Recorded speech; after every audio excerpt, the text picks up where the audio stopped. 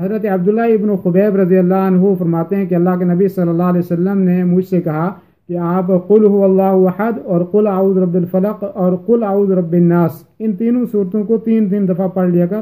حین تمسی وحین تصبح۔ جب تو شام کرے اور جب تو صبح بیدار ہو، جب تو صبح کرے تو ان تین صورتوں کو، ان معوضتین کو تو تین تین دفعہ پڑھ لیا کر۔ یعنی تین دفعہ قل هو اللہ وحد اور اسی طریقے سے تین دفعہ قل اعوذ رب الفلق، اور اسی دفعہ، طرح قل اعوذ رب الناس کو تو پڑھ لیا کر یعنی صبح اور شام کو۔ اور فرمایا حدیث کے الفاظ ہیں، کہ یکفی کا من کل شعین یہ ہر چیز سے تیرے لیے کافی ہو جائیں گے۔ یعنی ہر قسم کے شار اور ہر قسم کے فتنے سے یہ تیرے لیے کافی ہو جائیں گے۔ چاہے وہ فتنہ انسانوں کا فتنہ ہو، چاہے وہ جنوں کا فتنہ ہو، چاہے وہ نظر بد کا فتنہ ہو، چاہے وہ جادو کا فتنہ ہو، چاہے وہ رات کا فتنہ ہو، چاہے وہ دن کا فتنہ ہو۔ چاہے کوئی بھی فتنہ ہو، اس فتنے سے یہ آدمی فرمایا کہ تو محفوظ ہو جائے گا۔ اور اللہ کے نبی صلی اللہ علیہ وسلم ان کا معمول بنایا کرتے تھے۔ جیسے کہ یہاں اس روایت میں ذکر ہے کہ آپ صلی اللہ علیہ وسلم نے صبح اور شام کو پڑھنے کے لیے کہا۔ اور اسی طریقے سے سونے سے پہلے بھی ان تینوں صورتوں کو جو ہے وہ پڑھنا چاہیے۔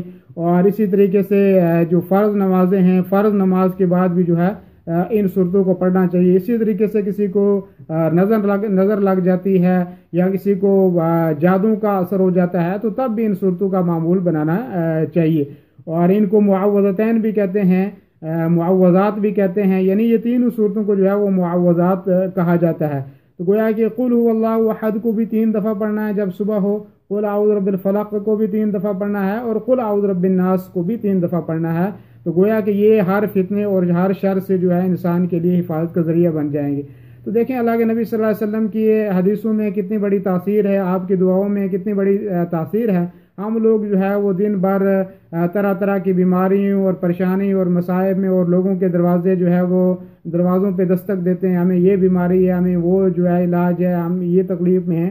لیکن ہم نے کبھی سنت جو طریقہ ہے جو آپ صلی اللہ علیہ وسلم کا سنتوں کا جو معمول تھا، جو آپ صلی اللہ علیہ وسلم کی جو دعائیں تھیں، آپ صلی اللہ علیہ وسلم جو سکھاتے تھے اپنے صحابہ کو، جو امت کے لیے آپ صلی اللہ علیہ وسلم نے جو دعائیں ہمیں سکھائی ہیں، تو ہمیں ان دعاؤں کا اہتمام کرنا چاہیے۔ اور کوئی شک نہیں ہے اس میں کہ ان دعاؤں کے اندر اللہ رب العالمین نے شفا رکھی ہے۔